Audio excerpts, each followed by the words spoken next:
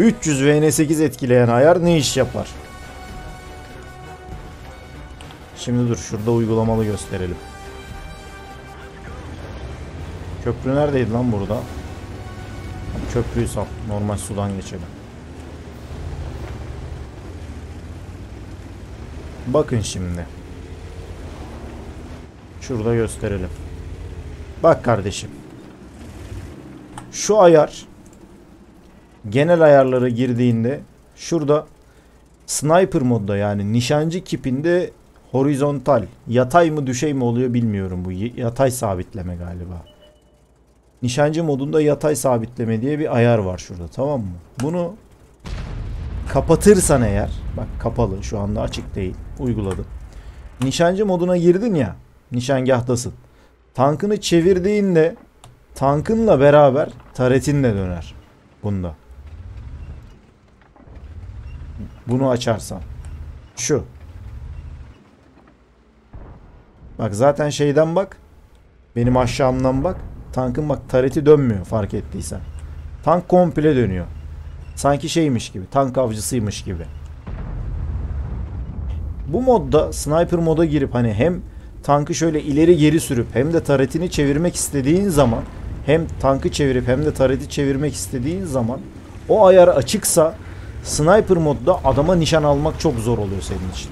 Şurada bir adam olduğunu düşün mesela bak ilerliyorsun hem sol yapıp hem adama nişan almaya çalışacaksın bak.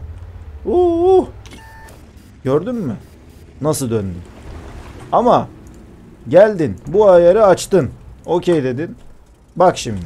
Nişangaha girdin. Bak tankını çevir. Nişangah aynı yerde kalmaya çalışıyor. Fark ettin mi? Taretinin dönüş hızına göre aynı yerde kalmaya çalışır nişangah. Ya siktir edin EBR'yi oğlum. Sandbox'tayız zaten. Önemli değil. Şurada bir şey öğretiyoruz size. Öğrenin bunları. Bu önemli. Oyunculuğunuzu gerçekten arttırır. Bak gördüğün gibi nişangah burada kalmaya çalışıyor. Bu durumda ne oluyor? Şurada bir adam var. Sen şöyle gidiyorsun mesela bak gördün mü? Nişangahı hep burada tutabiliyorsun. Bak tankı istediğin gibi çevir bak. Ben tankı sürekli oynuyorum bak şöyle. Sağ yapıyorum, sol yapıyorum. istediğin gibi çevir. Nişancılıkta inanılmaz fark eder. Kafadan maç başına artı bir atış, artı iki atış yapmanızı sağlar bu ayar. E, bu ayardan kaynaklı çok fazla böyle atışlarınızı saçmalayabilirsiniz yani. Açmazsanız eğer bu. Kafadan dediğim gibi artı 300 VN8 itebilir.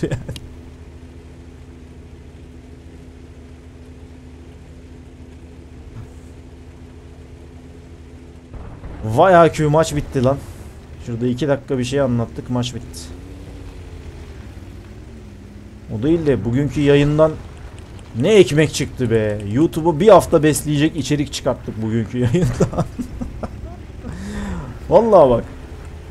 Her bölümü ayrı ayrı yayınlasam en az 7 günlük içerik çıkarttık şu anda. Bu yayında. Bereketli yayın oldu ya.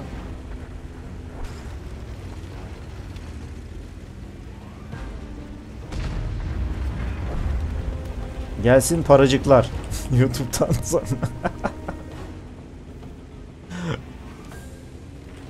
o değil de yakında bize de vergi denetmenleri basar.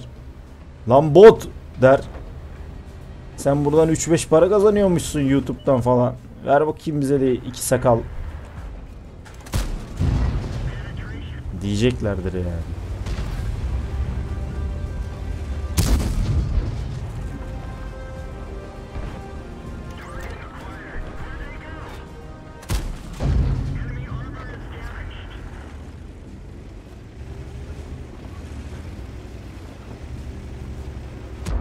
Ne yapıyorsun lan trek? Selamun aleyküm. Aa! Aa mermisi mi yok lan bunu niye ateş etmiyor? Öyle dikelim o zaman bu abiyi.